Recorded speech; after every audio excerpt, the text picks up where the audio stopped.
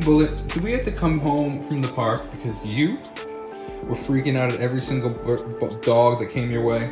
Freaking out, jumping all crazy, barking on him. Why'd you do that, buddy? I can't you just sit. No, I mean, you were good at first, but then you got crazy. Currently finishing up what I started in Northport, but kind of finished because I'm a bullet over there. But I'm over here now, editing these. I gotta say though, I spent some time watching a couple of Casey Neistat's most recent vlogs. Um, I'm a big fan of him. I used to watch actually a lot of his older stuff, um, and obviously he's not posting as much anymore. But it's just it's crazy how much quality, how much time he puts into them.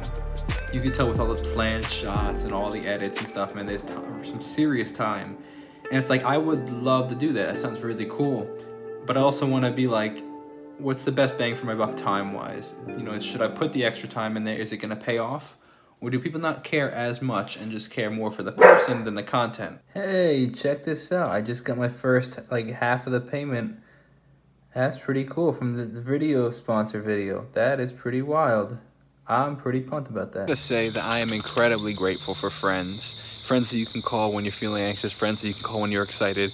And I want to give two little tips that I've learned when struggling with anxiety uh, on on ways to deal with it. And one is sometimes it helps to talk about it. I say sometimes because sometimes you just got to get it out and people speak truth into the situation. It's like, oh, I feel so much better.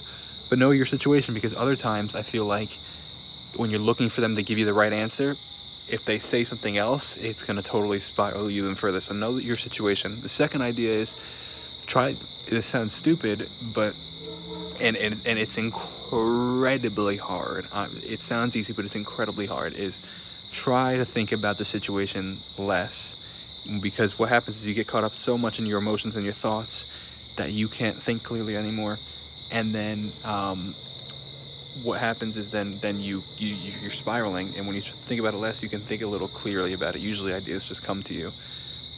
Incredibly hard but it is possible